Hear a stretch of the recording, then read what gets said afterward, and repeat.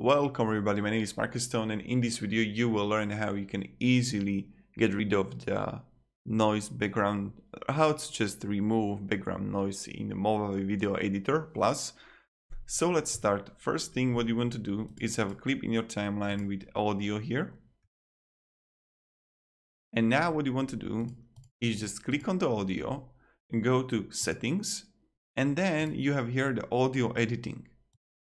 It will be like here now what you want to do is just click noise removal and you have here noise suppression.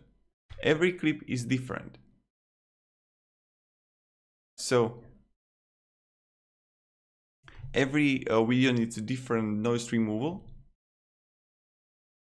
And you, I wouldn't even play with the audio effects here.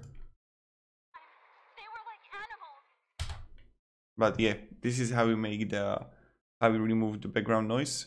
Mm, I recommend just playing around, have it on your, don't, guys, this is really important. Don't edit on your headphones or earphones.